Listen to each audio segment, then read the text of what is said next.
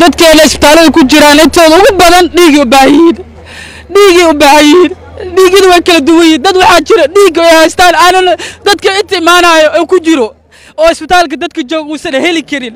Waa idin baryaa dad baa jira oo waxba iskaga bixin karin dhiigga dhaqaalihiisa. Aan u gurmano ummadeenna aan u tagno. Dadaan quraacanin xalay casheenin isbitaalay ku jiraan. Waa duruufaysan yihiin dad waxaa jira hadda waa aragtay ilmaha yiriiska hooyada. Ka dhimata la sheegayo waa hooyo dawarsanaysa ama tugsanayso ay u raadinayso? Wixii cunto. Way ka dhimatay. Ilmahaasi kasakoo boqolaal kalaa jiraan. Waa idin baryaa isbitaalada ha la aado. Dhiigaga ha la shubo. Dadka ha loo gurmado quraaca la siiyo. Qadaa loo geeyo. Waa idin baryaa xooggiina. Waa maanta loo baahan yahay xooggiina ummadda ugu qaalisan nafsadiisa waa dhiigga. Dhiiggaa loo shubo ما تديك شوت بري اخر واحتري ويلا نفابت بالسه وايدي بريا. إلى دق حماش لعك قيب إلى ديك شوت ورنيك الشمله ومدينا أو قرملو أنا حاول إنت حروس الاسن هلو دعيو تلقى دتك سيدا أو بابين هي أو دباتين هي ما أنت بري دلك اذا كحق بدن حقيقة دبت امرك لا فيش وأنا نسيب درهد دلك هيسته وعدالة درهد دلك كو هبستي أو مدح الله صلاحي. ama taliyaal ciidan ha laga dhigo. Ama wasiirre ha laga dhigo. Shacabka soomaaliyeed inay ku dhibban yihiin waddooyinka ay marhayeen ay ku dhibban yihiin. Saaxiib eh, cusman. Allah naxariis saaxiib saaxiibkeen dunida eh, waa laga watageyaa kulan wacan wanaagsan daawadayaal ku soo dhowaada mar kale iyo muuqaalo kaloo xasaasiya oo ka soo baxaya goobtii ay dhacdada layaab kale ay ka dhacday iyo weliba muuqaalo argagaxa leh kuwaasi oo haatan ay wariyaashu si toosa u galeen xaruntii qaraxyada isdabajooga ay ka dhaceen ee magaalada muqdisho. Waxaa laga soo warinayaa halkaasi in ay khasaaruhu mar walba uu tirabeel noqonayo halka meydadkii tirada badnaana dadka reer muqdisho ay isku qaybaaleen sidii markaasi ay u asturi lahaayeen inta haatan dadka shacabka iyo weliba sidoo kaleeto mas'uuliyiinta geeriyootay ee ku dhimatay qaraxyadii isdabajoogaha waxaa tirada haatan ay maraysaa in ka badan laba boqol iyo konton qof halka dhaawacuna uu ka sii tiro badanayo. Waxaa dhanka kaleeto meeshaasi gaadhayo ehelada iyo qaraabada markaasi dadkoodu ay ka maqan yihiin ee ayaguna baadigoobka ku jiro. Baraha bulshada waxaa lagu baahinayaa sawiro aad u tiro badan oo ay ka mid yihiin xataa carruur yaryar kuwaasi oo da-dooda markii aad sawirada ka fiiriso ay ka yartahay shan sano ilaa iyo toddoba sano oo ayaguna ilaa iyo xilligan jaaniya celi meel ay dhigeen la leeyahay waxayna u badan tahay in meydadka tirada badan iyo weliba sidoo kaleeto hilbaha daadsan isgoyska soobe in ay markaasi ka mid yihiin. Waxaad arkaysaa mas'uuliyiin ayagana la leeyahay meel ay jaaniya cirib dhigeen oo ayagana laga baadigoobayo xafiisyadii markaasi ay ka soo ay ka shaqogeli jireen iyo weliba sidoo kaleeto goobahoodii shaqada oo ayagana gebi ahaanba lalaayahay dowladda federaalk soomaaliya baaqyada ay dirayso waa trapel waxaana madaxweynaha jamhuuriyadda federaalk soomaaliya mar labaad uu beesha caalamka u diray inay gargaar ama gurmad caafimaad ay la soo gaadhaan magaalada muqdisho maadaama xaaladu ay ka sii darayso isbitaalada ayaa bux dhaafay waxaana mas'uuliyiin iyo sidoo kaleeto dadka shacabkaaba haatan ay qayladhaan u dirayaan ummadda soomaaliyeed meel walba joogtaba in markaasi goobaha dhiig bixinta ay aadaan islamarkaana ay dhiig la soo gaadhaan.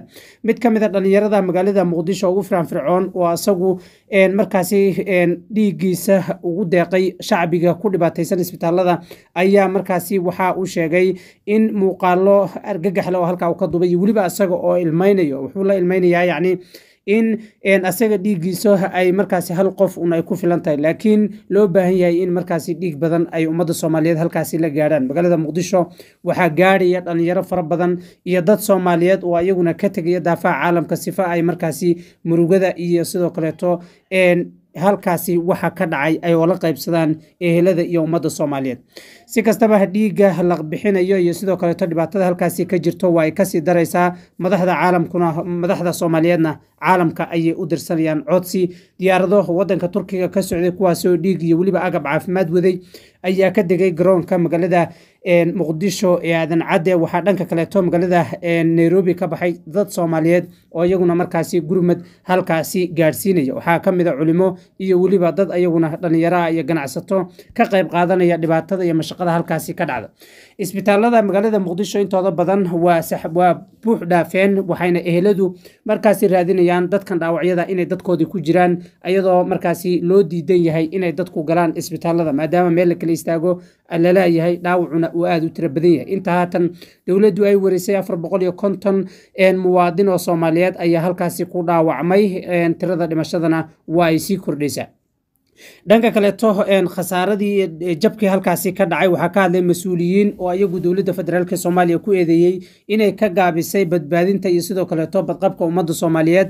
Waxaana mid ka mid a odayaasha dhaqanka ee magaalada muqdisho oo asagu hadlay aan halkan inuula wadaagi doonaa codkiisa iyo sidoo kaleeto qaabka qiirada leh oo uga hadlay dhacdadii foosh xumeyd ee ka dhacday isgoyska soobe waxa uu dowladda ku eedeeyey in markasta qofka dhiigga sidan oo kale u daadiyo markaasi xilal loo magacaabayo. Taasi oo markaasi dadkan la dhibaataynaya dhibanahana aan ayagu waxbaba laga soo qaadayni bal muuqaaladan argagaxa leh aan isla daawano qaybaha dambena iskugu soo laabano dalka dadka sidaa u baabiinaya oo u dhibaataynaya maanta birri iyagaa dalka idinka xaq badan xaqiiqda dhabtaa markii la fiirsho waa nasiib darrada dalka haysata waa cadaalad darrada dalka ku habsatay oo madaxa loo salaaxayo ama taliyaal ciidan ha laga dhigo ama wasiirra ha laga dhigo shacabka soomaaliyeed inay ku dhibban yihiin waddooyinka ay marhayeen ay ku dhibban yihiin oo la ciqaabo oo wiil yaroo qori la taanga dhuunta ka gesho haddana qaraxyadaas dhacaya oo boqolaalka kun oo qof baabi'inahaya ma cirkay ka soo dhaceen? Ma dhulkay ka yimaadeen? Aaway jagboontiyadii ciidamada joogoo shacabka dhibay oo baabuurta bajaajyadaa dhibay oo qoriga ku fiiqahayoo nafta u keenay xaggee bay jireen. Su'aasha isweyddiinta mudan waxaa weeye dalku miyuusan lahayn dad ka danqanahaya mas'uuliyiin ka danqanaysa miyuusan miyuusan dalku lahayn. Haddaan lala xisaabtamayn saraakiisha amniga hoggaaminaysa iyo taliyaasha ciidamada iyo taliyaasha saldhigyada. Haddaan mar lala xisaabtamayn oo qofku uu og yahay hadduu ogaan lahaa askarigu ogaan lahaa ama taliyuhu ogaan lahaa in tilaabo laga qaadahayo oo sharci la horgeenayo dalku maanta saatan ma ahaadeen. Laakiin waxaa haddana nasiib darro ah in maanta dalka laga jecel yahay boqolkiiba laba boqol laga jecel yahay oo madaxa loo salaaxayo ama taliyaal ciidan ha laga dhigo ama wasiirra ha laga dhigo. Dalka dadka sidaa u baabi'inaya oo u dhibaataynaya maanta birri iyagaa dalka idinka xaq badan. Xaqiiqda dhabtaa markii la fiirsho waa nasiib darrada dalka haysata. Waa cadaalad darrada dalka ku habsatay. Maanta waxaan tale ku soo jeedinhayaa madaxweynaha madaxweyne xasan sheekh maxamuud. Runtii niyad buu hayaa oo kula dagaalamahayo dadkan dhibaatada loo geysanayo laakiin waxaa la rabaa niyadda inuu ka dhabeeyo tillaabo ka qaada hay'adaha amniga tillaabo cad ka qaado maxkamad la soo taago sharcigu qof kasta ama madaxweyne ha ahaado ama taliyo ciidan ha ahaado waxaa ka weyno waa sharciga. Haddii sharciga laga biqi lahaa dhibkaanu ma yimaadeen madaxweynaan laga biqin taliyo ciidan baan laga biqin maxkamad baan laga biqin waxaa laga baqahayaa oo dalkan kala hagayaa waxa weye waa sharciga dalka. Sharcigii dalkaas sii doona loogu tuntay xalay waxaan u jeeday halkan markii kormeerka la marayay niman madaxoo wada xanaaqsan oo ismurugaynaya. Shala maxay uga murugan waayeen maxaa la hay'adaha amniga loo tegeen waayey? Dadweynaha ayaa loo ogolaaday inay soo gaaraan. Goobtii ay wax ka dhaceen shalay ee isgoyska zoobee halkan oo ay ku dhinteen ugu yaraan boqol qof ayna ku dhaawacmeen boqolaal kale. Isbitaallada muqdisho qaybtoodna waxaa buux dhaafiyey boqolaal qof oo dhaawacyo kala duwan ka soo gaareen weeraradii shalay. Waxaana ka mid a meelaha dhaawacyada ugu badan la gaarsiiyey isbitaallada madiino iyo digfeer dad badan ayaa xalay tegay isbitaallada iyagoo raadinaya eheladooda nolol iyo geeri dhakhaatiirta iyo maamulada isbitaallada muqdishona waxay la tacaalayaan dhigyiri xoog leh oo soo wajahday kadib markii dhaawacyo xaddhaafa la geeyey halkaasi. Sidoo kale halkan oo goobta ay wax ka dhaceen waxaa soo gaaray boqolaal qof oo raadinaya eheladii iyo dadkoodii oo aysan hayn nolol iyo geeri toona dadkeena isbitaallada ku jiraan intooda ugu badan dhiigii u baahan dhiigii u baahan yihiin. Dhiigyada way kala duwan yihiin. Dad waxaa jira dhiigga ay haystaan. Aanan dadka inta imaanayo oo ku jiro. Oo isbitaalka dadka jooga uusan heli karin. Waa idin baryaa. Dad baa jira oo waxba iskaga bixi karin dhiigga dhaqaalihiisa. Aan u gurmanno ummaddeenna aan u tagno. Dadaan quraacanin xalay casheenin isbitaalay ku jiraan. Waa duruufaysan yihiin. Dad waxaa jira. Hadda waa aragtay ilmaha yiriiska hooyada ka dhimata la sheegayo waa hooyo dawarsanayso ama tuugsanayso ay u raadinayso wixii cunto way ka dhimatay ilmahaasi kasakoo boqolaal kalaa jiraan. Waa idin baryaa isbitaallada ha la aado. Dhiigaga ha la shubo dadka ha loo gurmado quraaca la siiyo qadaa loo geeyo. Waa idin baryaa xooggiina waa maanta loo baahan yahay xooggiina ummadda ugu qaalisan nafsadiisa waa dhiigga dhiiggaa loo shubo. Maanta dhiiggaa shubtid beri aakhir wax tari weyla nafaa badbaadisay. Waa idin baryaa inaad dadka kaaga qiimo badan inaad dhiigga shubtid. War dhiigga aan shubno ummaddeena aan gurmano aan caawino inta xanuunsanaysan ha loo duceeyo. Wax fiirsi wax ma taro waa idin baryaa. Sidoo kale cari xoogle ayaa ka dhalatay markii qaar ka mid a isbitaallada muqdisho la sheegay inay dhaqaale ku xujeeyeen dadkii doonaya inay dhiigga u shubaan dadka dhibanayaasha. Madaxweynaha soomaaliya xasan sheekh maxamuud oo xalay booqday goobta uu weerarku ka dhacay ayaa ka codsaday beesha caalamka inay u soo diraan dhakhaatiir iyo agba caafimaad si ay ula tacaalaan dhaawacyada madaxweynuhu wuxuu booriyey inay shacabku tagaan isbitaallada ayna dhiigga u shubaan dadka u baahan. Ilaayo hadda tirada dhaawacay tirada dhimashada oo weli sii kordhaysaahe. Dhimashadana waa boqol dhaawacuna waa saddex boqol ku dhowaad. Dhaawacyo kalena way soo bixi doonaan dhimasho kalena way soo bixi doontaa. Waa taariikhdii zooba labaad waaye arrintan. Waa isla meeshii waa isla goobtii waa isla noocii dadkii sax maaha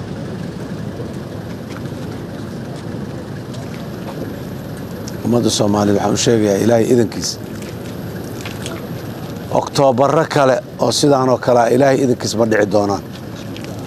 Awood iyo fursad iyo kashaashimo ay sidaan ku sameeyaan ma heli doonaan? Haddana waa noolnahay waay waxooda ogaada. Niman jabay dagaaladii looga adkaaday bannaankii looga adkaaday ciidankii u adkaysa waayo ka hor imaan waayey ee inta soo dabamaryeeya muxuu ahaaye dadkii abriyada ah ee maxasti gadaalka gumaadaya waay waa ka adkaanayna waana ka adkaanay haddii allayidhaah qaraxyada loo adeegsaday baabuurta laga soo bixiyey walxaha qarxa ayaa la qorsheynaya in lala beegsada xarunta wasaaradda waxbarashada oo ku taalla mid ka mid a iskuusyada ugu mashquulka badan ee caasimadda muqdisho. Muuqaaladaas iyo codadkaas aad daawateen waxay qayb ka yihiin muuqaalada si tooska uga soo baxaya goobtii ay dhacdada ka dhacday shalayto iyo weliba qaraxyadii waaweynaa ee la yaabka lahaa iyo mucjisooyinka halkaasi ka taagan. Dhanka kaleeto waxaad halkan ku daawan doontaan ayadana idiin soo gudbin doonaa dhaawacyada tirada badan ee yaalla goobaha markaasi xarumaha caafimaadka ee magaalada muqdisho iyo sidoo kaleeto muuqaalada argagaxle halkaasi laga soo duubayo. Beesha caalamka maxay ku jawaabtay oo ka tiri qaraxyadan isdabajooga iyo weliba sidoo kaleeto madaxda dalka ugu sarreysa maxaa uga qorshaysan urkan arxandaraawayaasha ee dhibaatada noocani oo kaleeta ka geysanaya gudaha magaalada muqdisho dhanka kaleeto waxaa isa soo taraya iyadana dagaal la sheegay inuu dhex maray ururka dhexdiisa kuwaasi oo iyagana iskaga dhaceen qaraxyadii iyo weeraradii isdabajoogaha ay ku qaadeen xalay andhehe shalayto magaalada muqdisho gaar ahaan isgoyska soobe waxaana halkaasi la sheegayaa in ay qaraxyo waaweyn ay iyo sidoo kaleto aandhehe dagaal xoogan uu ku dhex maray ururka dhexdiisa deegaano ka tirsan gobolka shabeellaha dhexe iyo weliba sidoo kaleto gobolka jubbada dhexe oo gebi ahaanba ay gacanta ku hayaan. Inta badan labadaasi gobolba ururka al-shabaab ayaa deegaano aada u waaweyn lagala wareegay iyadoo ciidamada dahliyeyada qaranka soomaaliya ay markaasi ugu aareen shacbigii ay shalayto ururka ku xasuuqeen isgoyska soobe waxaana saaka deegaano waaweyn ama weerar xooganba lagu qaaday goobo ururku ay ku sugnaayeen sida ay sheegeen ciidamada sida gaarka u tababaran ee danab iyo weliba ciidanka gorgor. Ee dhanka kaleeto dagaalka ururka dhexdiisa ku dhex maray goboladaasi shabeellaha dhexe iyo weliba sidoo kale jubbada dhexe faahfaahin dheeraada ka lagama helayo walow idaacadaha markaasi carabta laga leeyahay ay si toosa u taminayaan in dagaal xoogan ururka dhexdiisa ku dhex maray xalayto deegaanadaasi halkaasina dhaawacyo xoogan ay soo gaadheen horjoogayaasha ururka argagixisada al-shabaab. Wararka ka soo kordho xaaladda cakiran iyo sidoo kaleeto xasuuqa ka socda magaalada muqdisho iyo qaraxyadii isdabajoogaha iyo sidoo kaleeto khasaaraha dhabta. Wararkeena dambe ayaan idinkula wadaagi doona tan iyo kulanti dambena waxay naga tahay sidaasi ammaane allah